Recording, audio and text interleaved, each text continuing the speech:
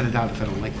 All right. So uh, crust can stretch. Yes. So crust is made of rocks. Okay. Over there we have some faults that we built earlier. So we want to talk about the elastic rebound theory. I Okay. have those?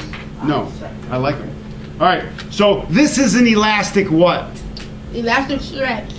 An ela- What is this called? A rubber band. A rubber band. Now, look, is it stretched? Hold your hand up high, please. Is, is it stretched out at all? No. No. Now, if we stretch it and stretch it, stop. Now, we're not going to. All right. So, what does the rubber band want to do right now? Stretch and break. Go back to the It- original position. All right. So, Darius says it wants to go back to the original position. So, is, is your hand, do you feel it being pulled? Oh no. So, you don't feel your hand? Oh, being- now I do. Okay, so now you feel the hand being pulled. Now, what type of force is this? We're, what type of force are we putting on this? Um, Compression or ten- Tension. tension? Yes, tension force. All right, so here we go. We're going to keep pulling, keep pulling, you guys go for jacket. keep pulling. Come on, pull. Ow!